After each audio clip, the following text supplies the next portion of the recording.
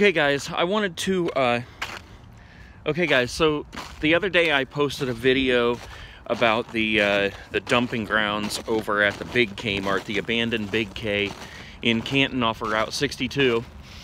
And I wanted to come over here to the Toys R Us off of, uh, what is this, Whipple in Canton. Um, this one's been closed down for a while. This is the place that I filmed that um, actually, it's my biggest video I ever put out, I think. I think it has like almost 200,000 views. But after I put out that video of the Kmart, I never noticed this before. Hold on a minute, let me finish what I'm saying. after I put out the video of that Kmart, somebody told me that that same thing is happening over here at this Toys R Us, so I wanted to come over and see for myself. And first, in looking over here at this lot, this is the lot beside it, the Barg Max over there, that's closed down now, but that used to be Kids R Us. It's connected to the building here. But you can see there's no trash over here. At one point, and I think I may have filmed this, there was like a big stack of tires or I think it was those rings that actually go around um, the barrels that they put on the road when they're working on the street. But, uh, but those were like right over in this area. There's nothing else over here right now. So it looks like they've cleaned it up as well as some junk that used to be back there. I recently heard that somebody bought this building. Now let me just jump back for a second and tell you what I was thinking about that I just said that I never realized before. Looking at the Toys R Us sign up here, you can clearly see where the old T was right before that T. The label scar from the old one before they changed it. I never noticed that before for some reason. I don't know why. That must have been the S up there. So it was a longer sign. I don't know. It's strange how many times I've been here and how many times I've filmed here that I never noticed that before. Let's see if we can take a look inside though a minute. Uh, you can't really see anything because of reflection. All the lights are off this time. They were on for a long time. They still have like the uh, the cash registers and the lane lights and everything.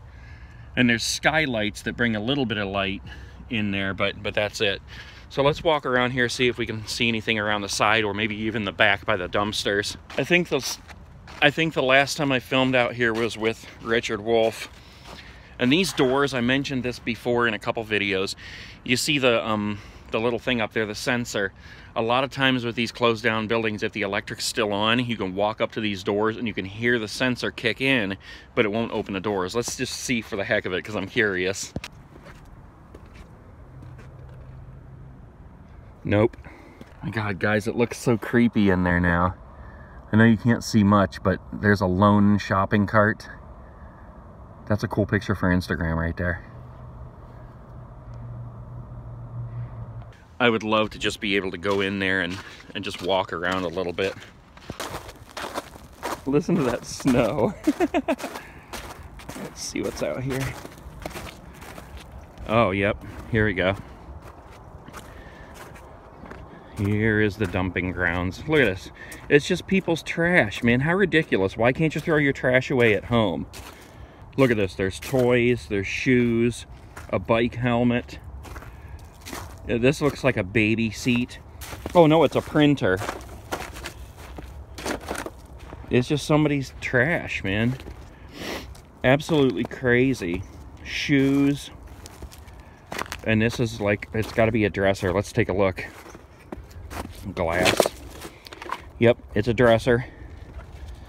What kind of shoe is that? It's Adidas. another TV. I always find these TVs at abandoned places. I mean, obviously nobody wants them anymore. They would be cool to fix up. Or if you ever saw the movie Grumpy Old Men, remember how uh, Ann-Margret's character made like a, what was it, a fish tank or something? Oh, just a bunch of brush and stuff here. What am I stepping on? Boots. Hmm. Nothing else back there. Well, let's take a walk. Screw it. I don't want anybody to mess with the bee while I'm back here. Be safe, bee. I'll be back soon. okay, guys. This happens sometimes with this kind of door. the pressure from inside pops them open.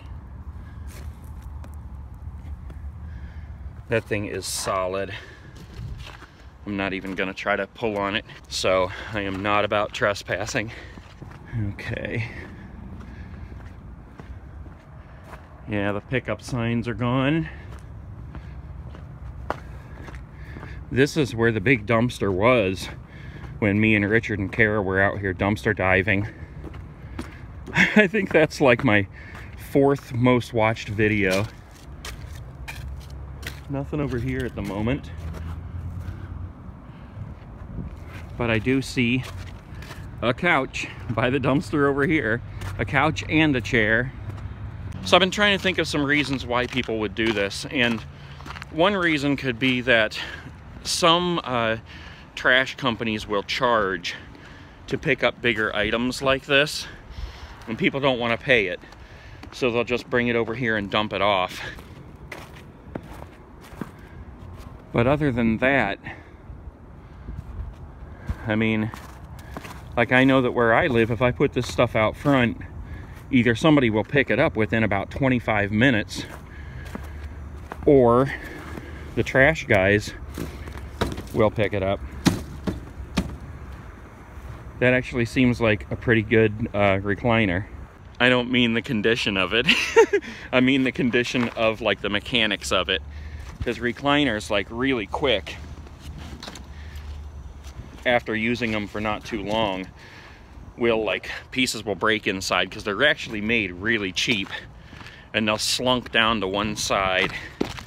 I have one at home I need to fix that's like that. But anyway, that's that's what's going on behind here. It's not too bad. It's not like it was out of the Kmart, but it is becoming a dumping ground.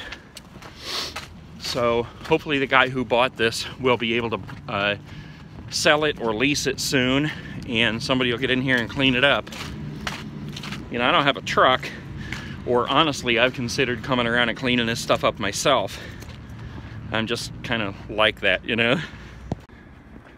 And there's the bee safe and sound. I would die if like while I'm walking back down this way, looking at the bee, if like a big truck or something just plowed into it. or somebody ran up, jumped in and took off. I mean, not like it's unlocked, but all right, well, that's all there is to it. Toys R Us. One last look here. I'm anxious to find out what this place is going to turn into. I heard that one was recently sold for like one and a half million to somebody. Million or billion? No, it would be million. Anyways, all right, guys, I'm out of here. I'll see you guys later. Peace.